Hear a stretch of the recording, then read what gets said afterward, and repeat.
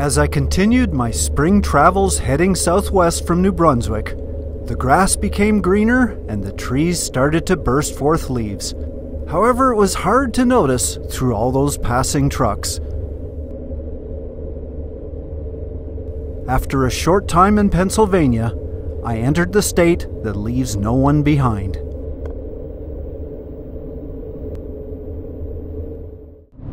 Well, I made it to Maryland. And it's hotter than hell here. 32 Celsius, which I think is about 90 degrees Fahrenheit. That's hot for me. Uh, I mean, just this morning in Pennsylvania, I had to put the heater on in the middle of the night because it was getting close to freezing. But there's no danger of it freezing right now, that's for sure. About 45 minutes west of Hagerstown is the Green Ridge State Forest. I'd never been here before, and nobody recommended it to me. I just merely found it on a map. A little hilly.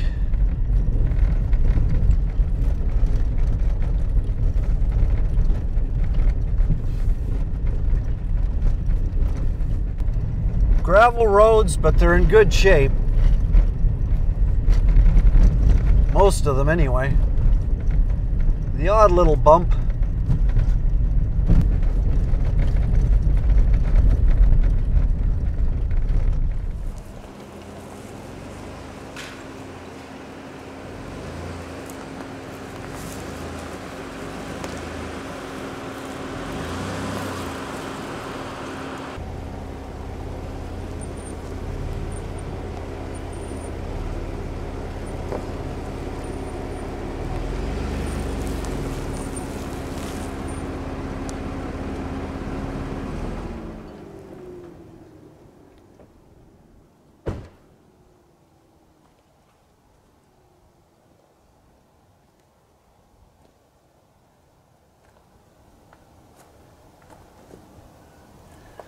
Bit of a tight fit, but it'll do. Green Ridge is a recreational park with campsites dispersed over a large area. I chose one just a short distance from Highway 68. Once I had finished unpacking, I packed it in for the night.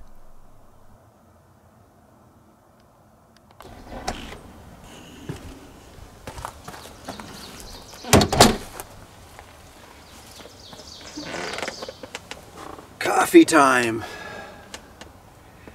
It was amazingly pleasant last night. I mean, it was really hot during the day, but at night it was probably around, I don't know, 62, 63, 14 degrees Celsius, which was just so nice. I actually even had a little bit of a fan on just to circulate the air. It's the first night that I haven't had to use the, the heater, the, uh, the little propane heater no need. It was perfect. Um, but yeah, I think summer's almost here. Not expecting any snow. The only white stuff falling from the sky were flower petals from the dogwood trees. Now it is supposed to rain today. That's why I've got the uh, awning down might as well be prepared for it. And my awning is starting to get a little old. It's going to be time to replace it soon. But for now, what on earth? Hey, I just realized the cup holder doesn't hold my coffee cup. It's too small. I mean, this is a standard size tin camping cup. Smokey the Bear on there. That's an insult. I'm going to have to talk to Camping World on this.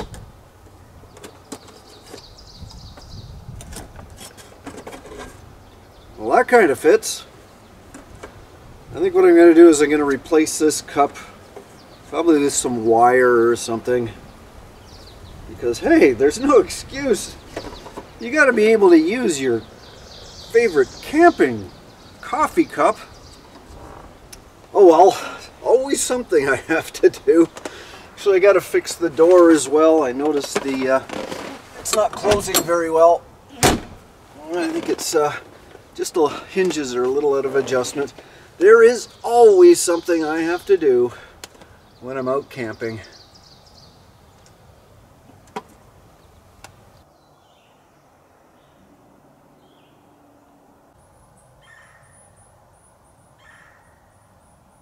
The last place I camped in Pennsylvania was Delaware State Park.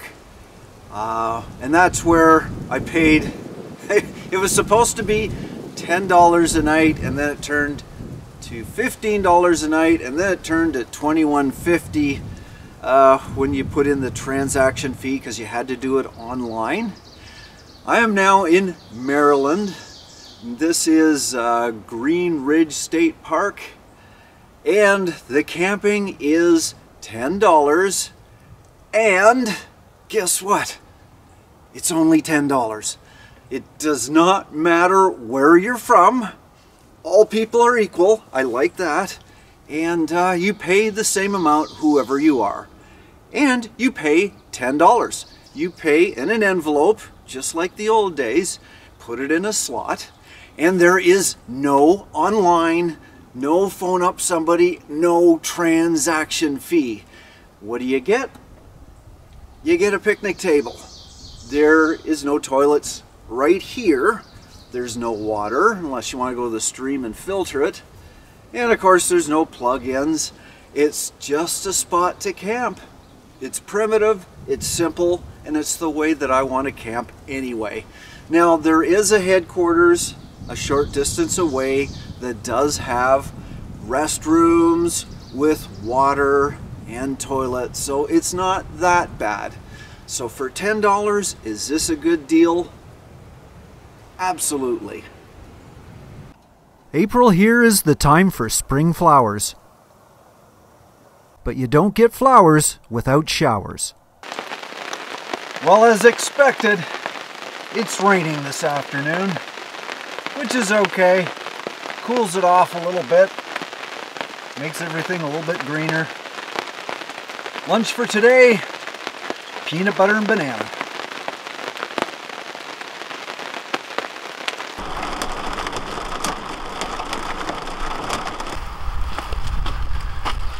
Well, the rain definitely cooled it down a lot. The heat wave is over, and the rain also did something else. It revealed another problem I have with this back window. It leaks. It leaks inside the trailer just opposite this area right here. It was dripping down. I saw it. That is going to be a huge problem. I have to fix it. Now, in an ideal world, what I would be doing is I would be taking this window completely out, uh, getting new seals for it and replacing it. That's not going to happen when I'm traveling. What is going to happen is I'm going to see if I can get this rubber off and uh, see if I can seal it up. Now, I see there's a big gap right here. Oh, and there's a lot of mud on it. Tons of mud that's probably part of the problem right there is this mud. Okay, I'd love to be hiking today, but I know in a few days it's going to be rain, rain, rain wherever I go. So this is the only window of opportunity I'm going to get to fix this. So no hiking today. I started off by peeling back the rubber weather stripping. That way I could see what was happening underneath.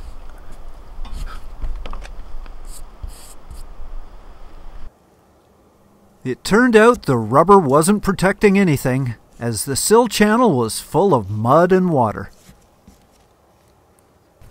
With a paper towel in the groove, I made an attempt to soak some of that muck up.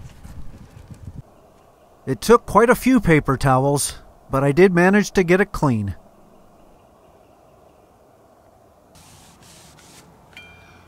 Well, I've got most of the mud out of the groove, uh, and I've cleaned it up a little bit.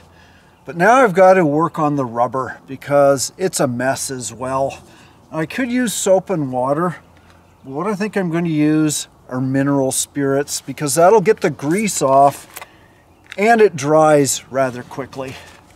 Um, I don't want to waste time waiting for this to dry. So let's just put that on there. Oh yeah, cleans it right off. That's what I need.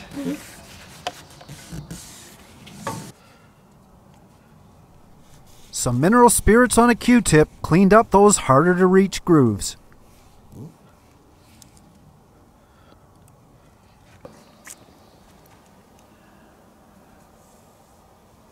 I've cleaned up the channel and the rubber as best as I could. It's a lot cleaner. Uh, rubber's actually livened up a little bit. But I did find the mineral spirits did leave a little bit of a residue, so I had to wipe that down and wipe in the channel as well. Now the next step I want to do is apply a little caulking before I put the rubber in. However, I cannot use caulking unless I know it is 100% dry. There's no moisture, and I know there was a lot of moisture in there just a short time ago. Even just wiping it out isn't going to get it all. Got to get it dry. I have a solution. Of course, I always bring the Jackery anyway. It's got AC, so I can run a hair dryer. Now, people have been giving me a hard time. Why do I bring a hair dryer? Well, this is why. Not to look pretty.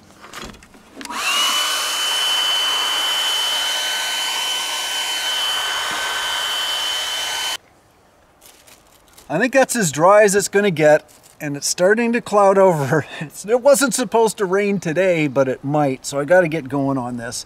I have some uh, marine silicone, clear transparent by GE, 100% waterproof, and it's dripping on me right now. Uh, what I'm going to try to do, and I don't know if it's correct, but I got to do something, is I'm going to put the silicone in the channel and then I'm going to put the rubber over top of it. It's probably going to be a little bit messy, but as long as it works, I don't care.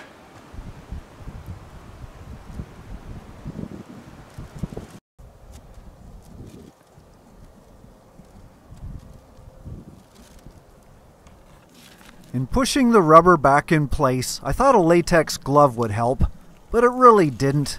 I still got covered with silicone.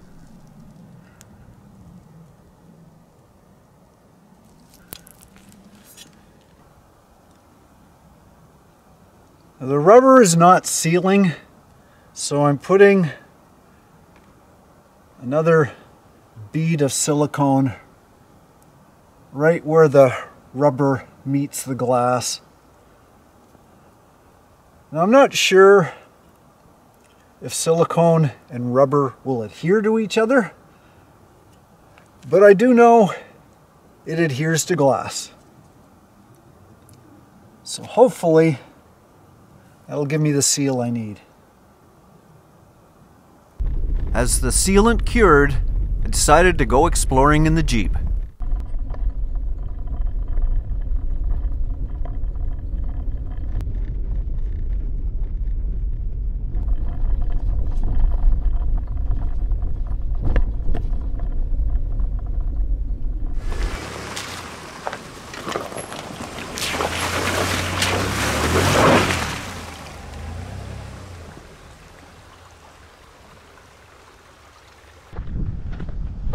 Sign says point lookout.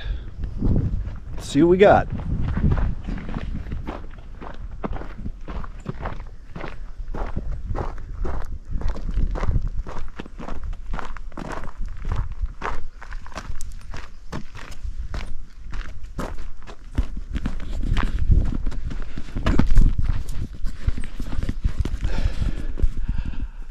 We have a wall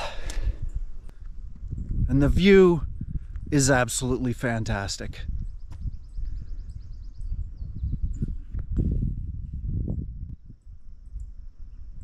That's the Potomac River, where it snakes between Maryland and West Virginia.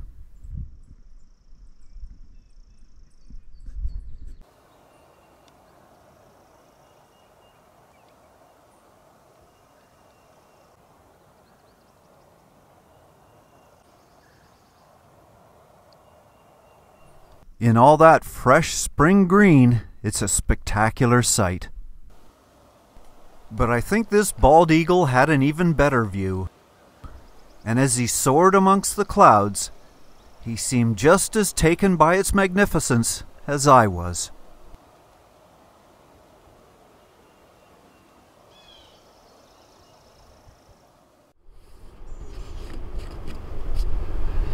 Well, it's dry, and uh, yeah, actually, I think there's a good seal, and it is sticking to the rubber.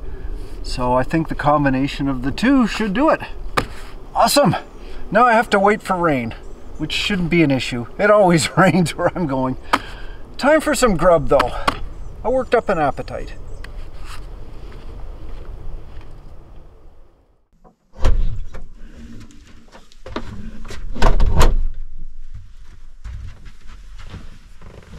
Well, I think the trailer looks the same as it did last time. Heater's over there now. Kitchen area. Bed.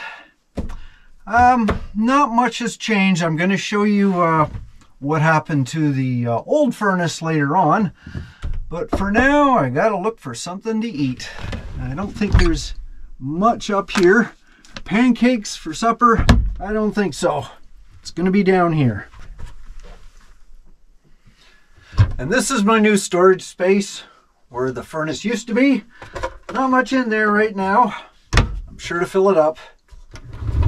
But most of my stuff is in my cooler. And I think for tonight, this is going to be most of it. So our featured meal for tonight includes some Franklin Farms barbecue tofu bites.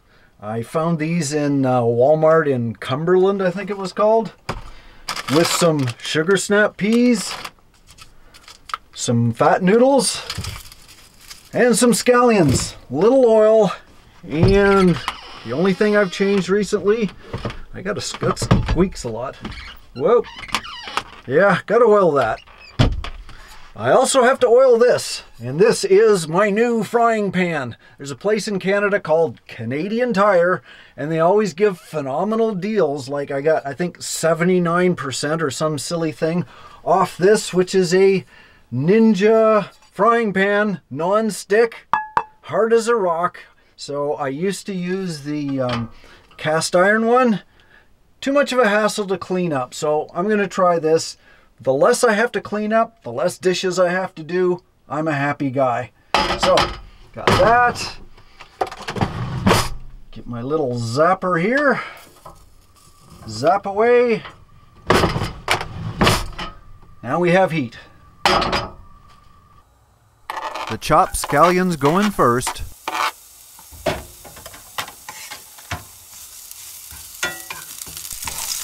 Then the snow peas. The seasoned tofu already had a sauce. Then the udon noodles and a little water to soften them up.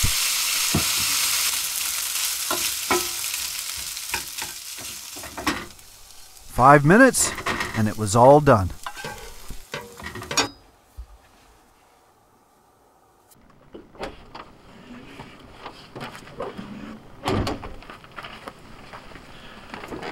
And as always, the most important thing, the taste test.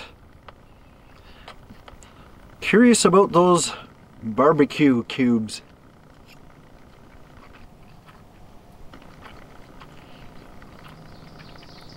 It definitely adds a little bit of flavor. They're not, they're subtle. It's a subtle. I mean, it's tofu. There's only so much you can do with it.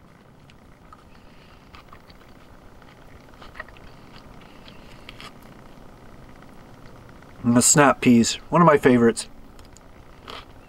Mmm. Love it. Hey, but I always share. Here, try some.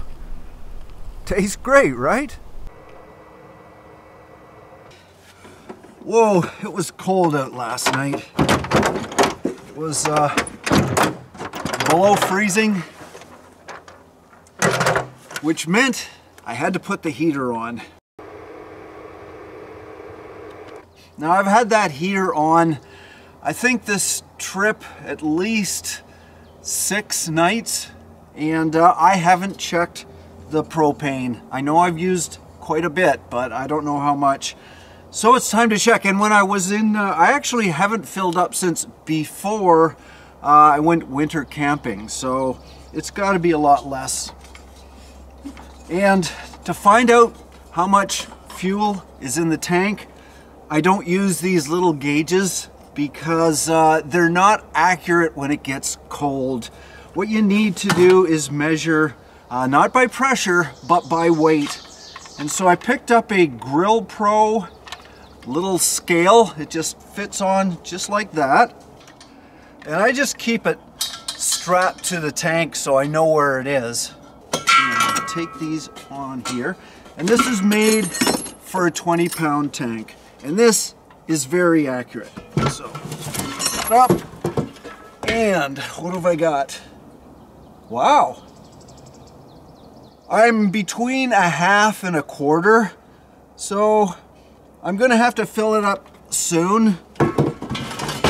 But uh, right now, I can probably do at least a couple more nights, so that's good.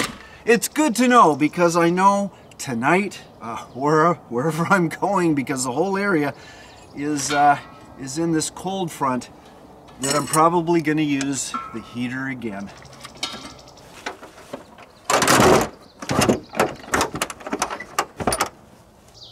I've got the trailer packed, I'm ready to head out again, but before I do, I just want to give you a couple more notes on Green Ridge State Park in Maryland.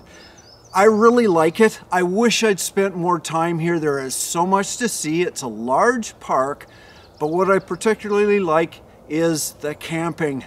There's, I think, close to a hundred campsites, and they're all widely dispersed. Like I've got this whole hill to myself, you drive around and you even get a free map so you know where all the campsites are.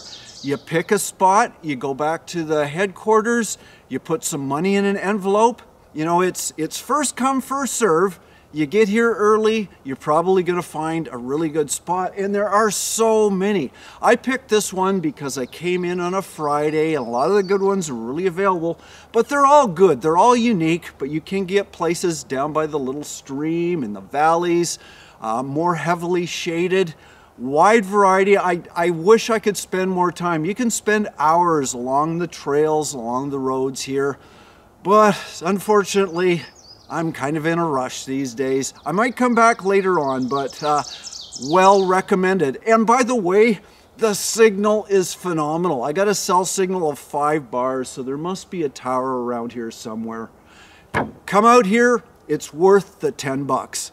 Anyway, I'm off. See you in my travels.